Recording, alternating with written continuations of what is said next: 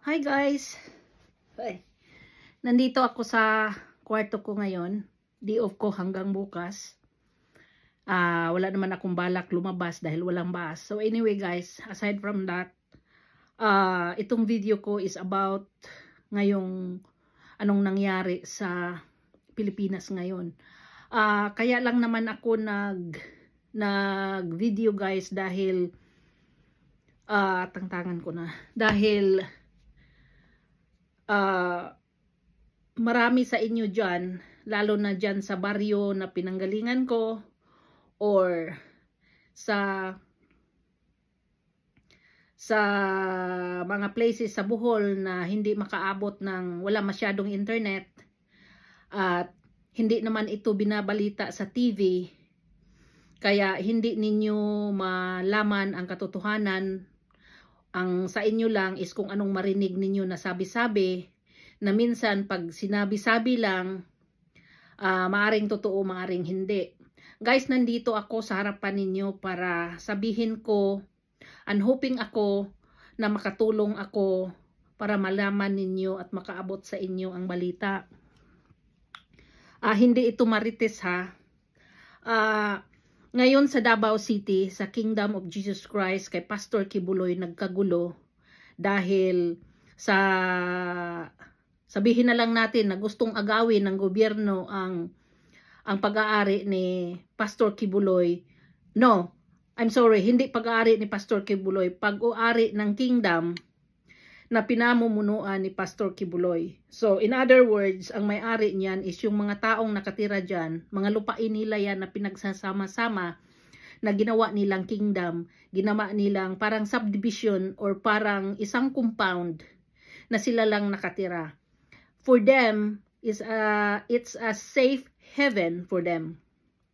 At pinatuluan nila ng, ng pawis at pinag pina-work nila ng tudo-tudo, pinamag, pina, pinapaganda nila para mai ma, magandang pamumuhay ang naranasan nila sa loob. Ngayon gustong agawin ng gobyerno. Let's put it that way kasi wala nang ibang excuse na na pwede pang sabihin na mag-define dyan, kundi gusto lang talaga nilang agawin for the purpose na hindi ko muna sabihin sa inyo dahil iba yung naisip ko eh. Ako lang naman ito.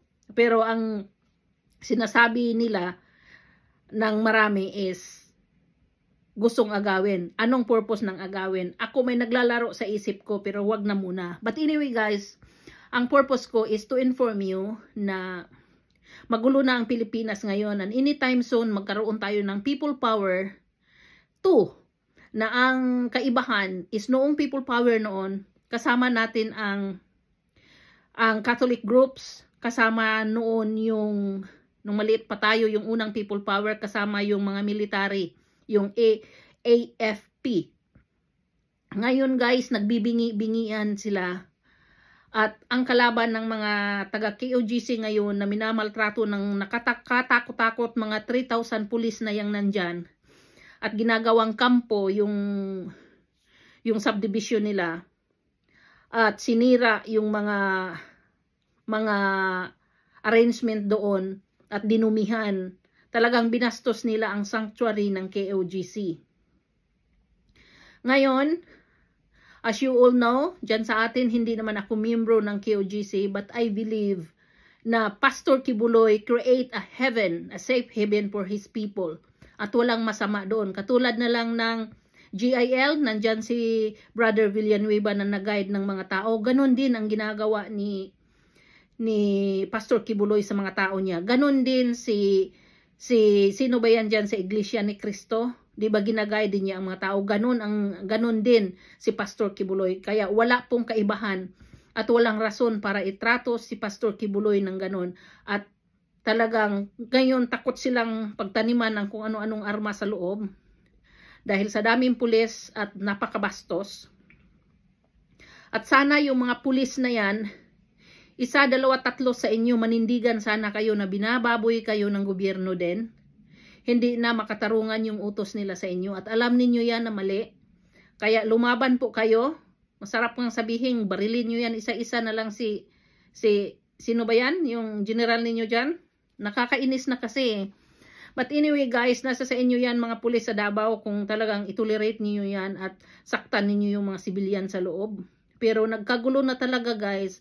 Now, yung mga taong wala sa YouTube, hindi ninyo yan makita masyado.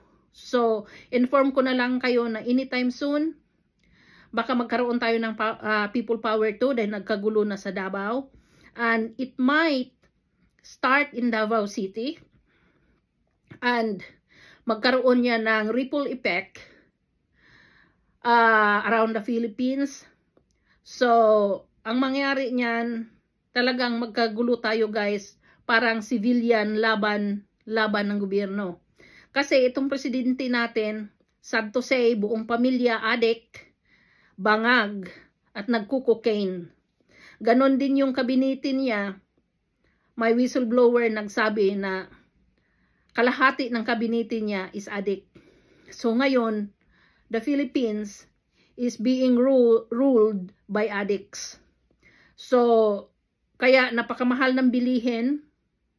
Bumagsak na tudo-tudo ang piso. Kahapon guys, ang piso to UK is 75 pesos per 1 1 pound.